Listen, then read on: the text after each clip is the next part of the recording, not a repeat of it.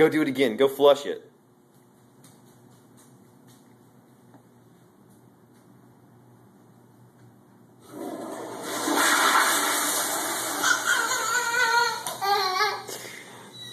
Was that fun? Okay, go flush it.